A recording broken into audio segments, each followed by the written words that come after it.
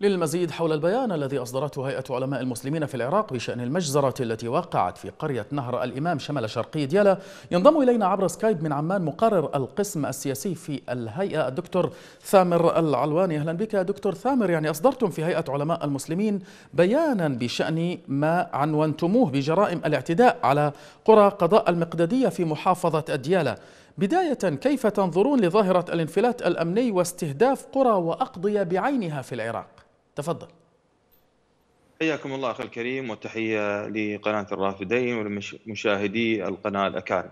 بداية لابد أن نعزي أهالي الضحايا ضحايا المدنيين من أبناء قرية نهر الإمام والراشدية نعم. الذين استهدفتهم يد الغدر والإرهاب الميليشياوي لأنهم يريدون خلط الأوراق وزعزعة الاستقرار الاستقرار النسبي الذي تمر به هذه المناطق.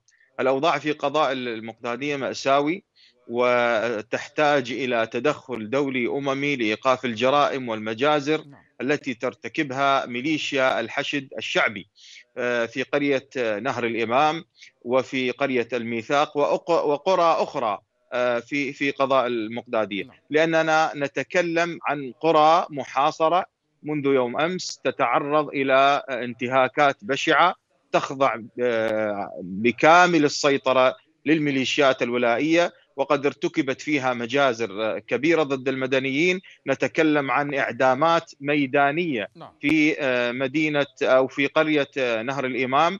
إلى الآن وصلنا 14 شخص تم إعدامهم ميدانيا بينهم نساء وأطفال. هناك إصابات بالعشرات هناك حرق للمنازل هناك عشرات البساتين.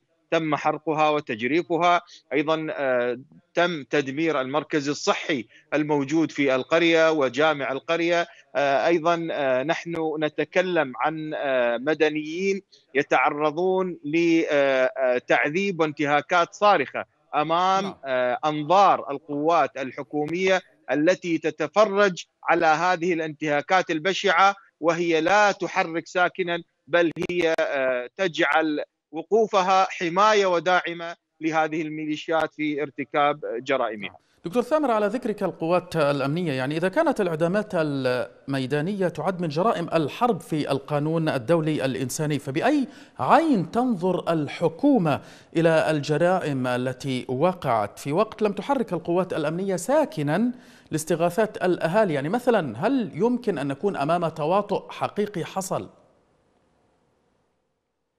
بالتأكيد كل المؤشرات والمعطيات التي نراها وكل الدلائل تشير على أن الحكومة متورطة بشكل كامل مع هذه الميليشيات نعم. وداعمة لهذه الميليشيات في ارتكابها لهذه المجازر لأننا إلى هذه اللحظة لم نشهد تحركا من القوات الأمنية الحكومية في إيقاف الانتهاكات الصارخة التي تقوم بها الميليشيات إلى هذه الساعة ومنذ ساعات قد وصلت عشرات الأسر النازحة من هذه القرى التي تتعرض إلى انتهاكات صارخة أمام أنظار القوات الحكومية وبمعنى أن الحكومة هي داعمة لذلك بل وصلت لدينا معلومات مؤكدة أن آه، أن القوات الحكومية قد شاركت مع الميليشيات في اضطهاد آه، آه، أهالي نهر الإمام نعم. طيب دكتور ثامر يعني في سؤالي الجديد إلى أي مدى ترى أن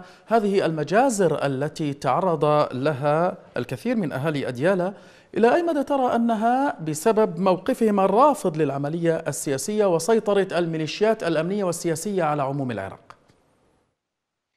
آه، بالتأكيد بيان الهيئة اليوم قد سلط الضوء على هذه النقطة المهمة جدا.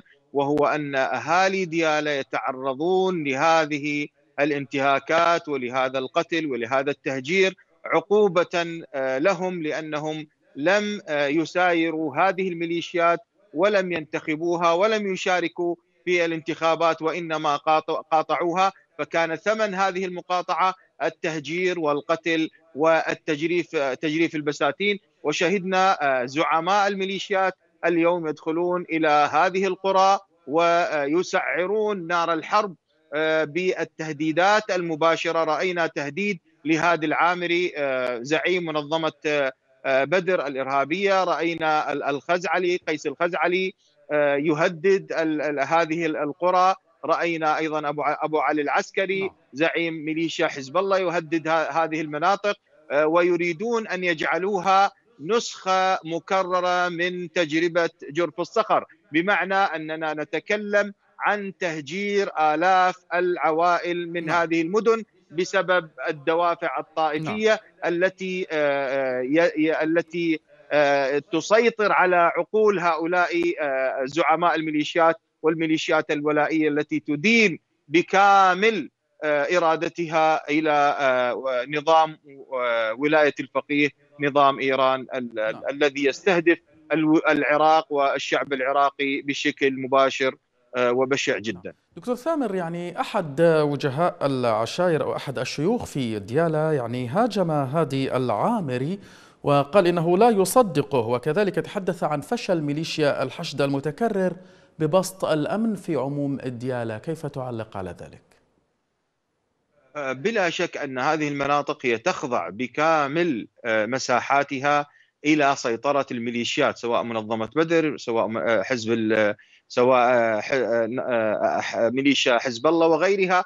فكل ما يجري من خروقات وكل ما يجري من جرائم وارتكابات وانتهاكات هي مسؤول عليها من يسيطر على هذه المناطق. وما رأيناه من اتهام مباشر من هذا الشخص ومن هذا الشيخ لهادي العامر بأنهم هم المسؤولون عن هذه الجرائم فهذه حقيقة. وهناك مؤشرات تقول بأن واضحة جدا بأن العملية جميعها مفبركة ومعد مسبقا لأن الميليشيات قتلت من أبناء الراشدية ثم حرضت على أبناء أهل نهر الإمام نعم. بمعنى ومع أن أبناء نهر الإمام هم بريئون من أي مش من أي جريمة وحتى الميليشيات والجميع يتهم تنظيم داعش في هذه الجريمة فإذا لماذا يتهمون ويهجرون ويقتلون أبناء القرى الأخرى فإذا هناك سيناريو معد قد أعدته هذه الميليشيات نعم. وهذا الشيخ قد اتهم هادي العامري نعم. بأنه وراء هذا هذه المسرحية التي راح ضحيتها العشرات من أبناء الشعب العراقي. إلى السؤال الأخير الآن دكتور ثامر يعني باعتقادك هل سيظل الأهالي في ديالا مثلا يصدقون الوعود الحكومية والميليشياوية بأنهم جاءوا من أجل بسط الأمن لا سيما وبعد أن قامت الكثير من الميليشيات بإذاقة أهالي ديالا الكثير من الويلات منذ تأسست؟